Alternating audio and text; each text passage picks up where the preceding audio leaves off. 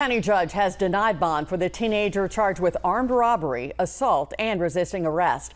Police arrested Giovanni Jean Pierre, who made headlines over allegations he stole a gun and then brought it to football practice hours later. WAFF 48 Savannah Sapp joins us live from Albertville. Savannah, you talked to the attorney who's representing the teen, and he says his client is getting unnecessary attention.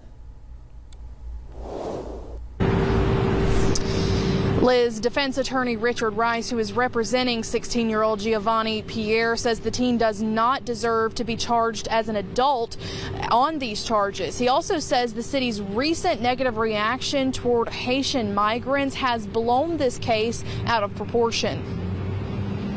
The 16 year old Albertville student accused of stealing a gun in Arab and bringing it to campus hours later will remain in jail among adult inmates until further notice. Giovanni Jean Pierre was denied bond last week during an Aniah's Law hearing before Judge Mitch Floyd. His attorney, Richard Rice, says his client's case has garnered unwarranted negative attention after the news conference organized by Albertville city officials and the district attorney.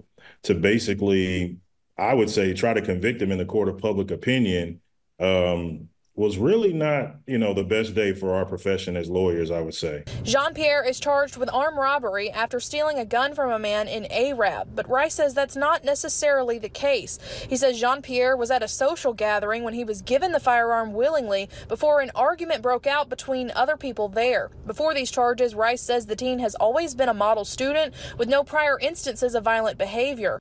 This is somebody, like I said, who's uh, as active in extracurricular activities, various sports, 2.8 GPA, expressed interest in becoming an engineer and even joining the military. Rice believes that the city's recent controversy over an influx of Haitian migrants has caused his client to receive unwarranted backlash. It's worth noting that Jean Pierre's parents are immigrants but have lived in the area for years now.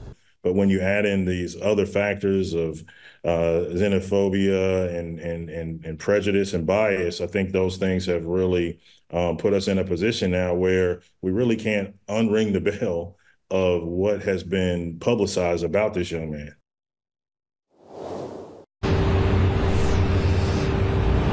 Well, Marshall County District Attorney Jennifer Bray responded to these claims in a statement saying any uh, saying under Alabama law, anyone age 16 or older charged with a Class A felony must be charged as an adult.